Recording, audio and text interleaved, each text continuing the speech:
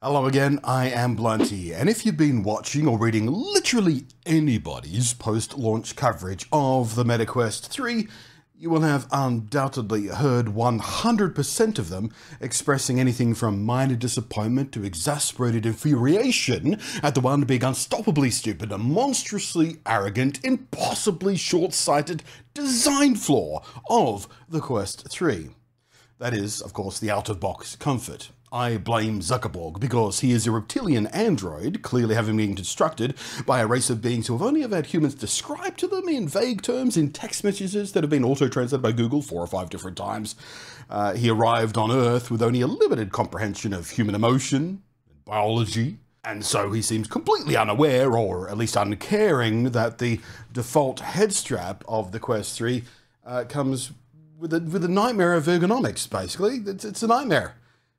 Here's what I personally had to say when I was recording some first impressions on day one with this headset, with this thing attached to it. Comfort. the first thing I did when I got the Quest 2, in fact I ordered it the same day, uh, they arrived together, was, was order the Pro Strap because, you know, I've used other headsets before with these elastic strap kind of headsets and they're just not that comfortable long term. And like I said, I've been wearing this for about an hour and a half now, just digging around in VR, doing all kinds of things, in VR chat and watching some uh, uh, YouTube videos and bits and pieces. And yeah, I can mirror exactly what everyone else is saying. The tops of my ears, where the, where the straps are sort of brushing against, are starting to get very sore. It's a very, very light pressure, but you know, you keep that light pressure on for long enough and you know, that ache sets in. And of course, the headset is pressing against my face. So, oh my God, yeah, just like everybody else has said, I feel the pressure on my cheekbones. I feel the pressure particularly up here on my forehead. And there's just, yeah, there's no, there's no comfortable way to wear this particular head strap. It is, hello, real world. So, third-party straps. Here is the cheapest one I could find within the first week of launch anyway. I wanted something good enough to allow me to actually use the Quest 3 with any concept of comfort and if it turned out to be fantastic, great, fine, excellent. If it turned out to be just good enough as a stopgap until a better design option was worked out down the road, also fine.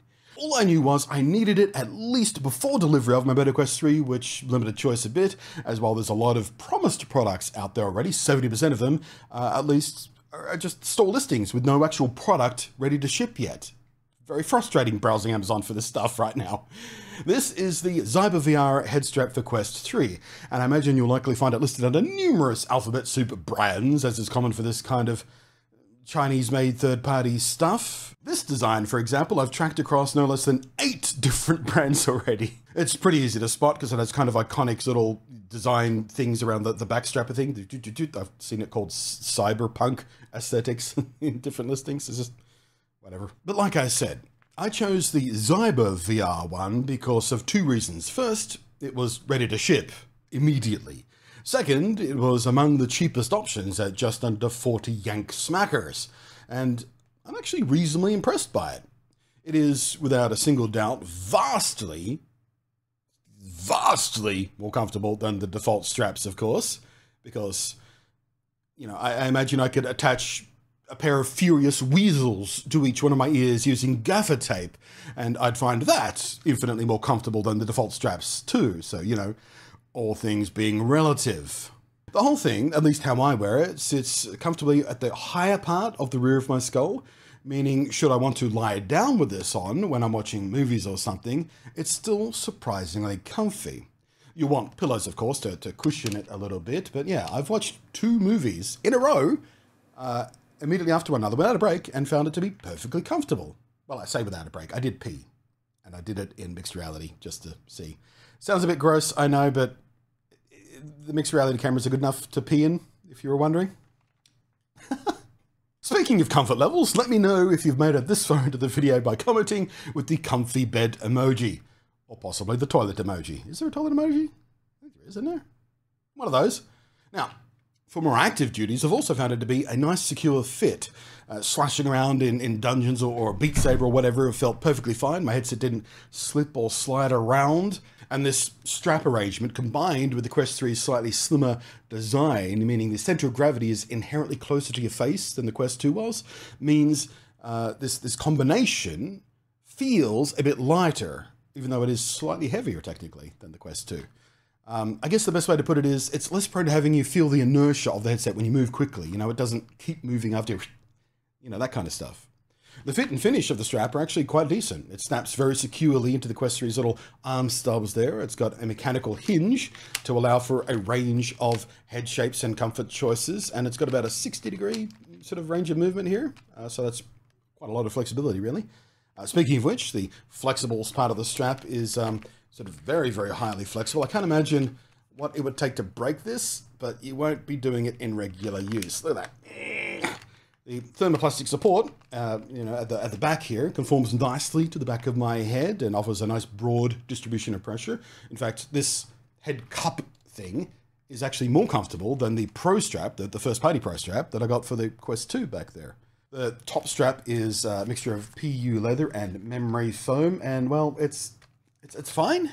After six days of wearing this, I'm still not sure I like the top strap. I keep sort of making little adjustments to it. It's not uncomfortable, but I think the fact that it's so heavily padded kind of fights against its purpose of the top strap, and that being to consistently set the level of vertical support. If it's so heavily padded, it's never quite consistent. So, eh. yeah, it's it's it's fine. It's not great, but not really an issue either. Also, it's just attached by a, a loop front and back, uh, so it can easily be replaced with a completely different strap or no strap if you prefer.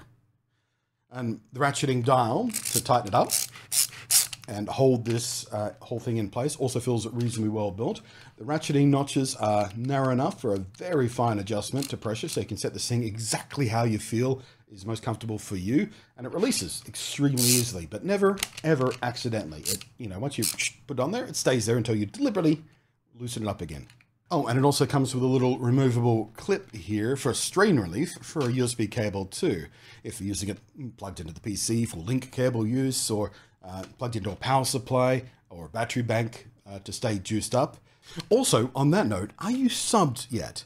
You might want to sub because I've got a review coming of a monster battery pack that you'll want to see. So sub and bell for that because whew, yeah, yeah, the, the little clip has been nice and secure. Uh, it's got a solid grasp, it adjusts pretty easily. It doesn't move when you're using it. Uh, it's not a pain in the bum to release the cable from it either if you just want to come off. Um, yeah, it works great.